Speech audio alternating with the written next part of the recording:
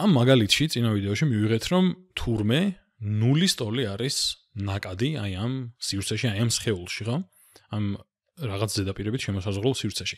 მოდი ვნახოთ რატომ არის ასე. შეიძლება ერთი შეხედვით ასე არ ჩანს, უცნაური ვექტორი არის, უცნაურად გამოიყურება თვითონ ზედაპირიც ცოტათი კომპლექსურია, მაგრამ პირველ რიგში თუ დაუკვირდებით, დივერგენცია f-ის არის უბრალოდ 2x, რაც რას ნიშნავს? ნიშნავს რომ მაგალითად აი აქ რომ ვარ რაღაც არის დივერგენცია, x-ი რომ გაიზრდება, უფრო მეტია დივერგენცია, კიდევ რომ გაიზრდება, უფრო მეტია დივერგენცია და ასე შემდეგ და ასე გრძელდება, როცა მოვდივარ აი ამ ღერძიდან, როცა ვზრდი x-ს, ხო?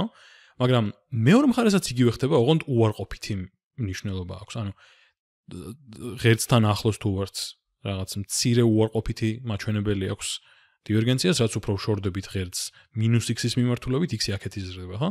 მით უფრო უარყოფითი ხდება ეს დივერგენცია და თუ დაუკვირდებით ZY ღერძის და უბრალოდ ZY სიბრტყის მიმართ ეს ფიგურა არის სიმეტრიული. ანუ გამოდის რომ ერთ მხარესაც და მეორე მხარესაც არის აბსოლუტური მნიშვნელობით, ანუ მოდულით თანაბარი ეს დივერგენცია, მაგრამ ერთმანეთს აბალანსებს კი არა, ერთმანეთს აბათილებს სიამდვილეში, იმიტომ რომ ნიშანი აქვს სხვადასხვა. ანუ აი ძალიან მარტივად რომ შევხედოთ, რომ ქონოდა მაგალითი, სადაც აი მოდი ვეცდები რომ დავამსგავსო ეს რაღაც ალტერნატიულ მაგალითს. სადაც აი ასე ესეც უნდა დავშალო.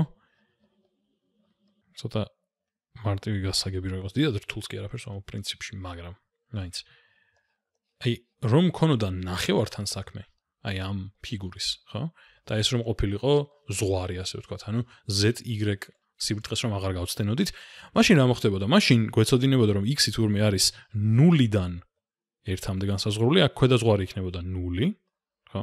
აქაც ქვედა ზღვარი იქნებოდა 0 და აქ მექნებოდა ჩასასმელი 0-დან 1-მდე. ანუ ეს აღარ მექნებოდა აქეთ და მექნებოდა აი ეს სხვაობა, სადაც ნუ 3 მეორეც -1 მეორედი არის 1 და 1 1 6-დი არის 5 6-დი, ხო?